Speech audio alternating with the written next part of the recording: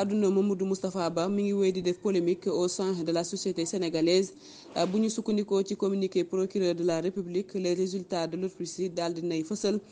na génnub àdduna ancien ministre de l'économie ak finance du Sénégal nekkul loo xam ne lu naturel la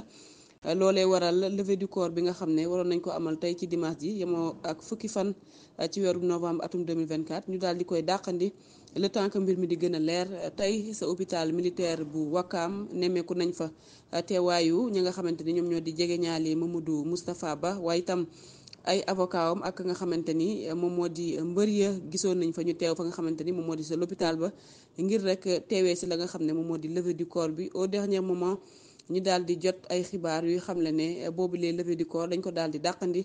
pour rek mën a gën a concentré wu ci autopsie bi pour mën a xam lan moo nar a tukkee eh, ca boobile eh, décès nga xamante ne annoncé nañ ko ci biir Sénégal lu yàggul dara. maître El Hadj Diouf mi nekkoon seen porte parole daal dinay ñaawlu bu baax a baax décision procureur eh, même gis-gis la ancien député Cheikh Bara Dolly ak Djibril War daal di am ci boobile mbir lu si mën a am dinañu wéy di leen ko toppal à travers le Dakar Wa TV ca na mu gën a leere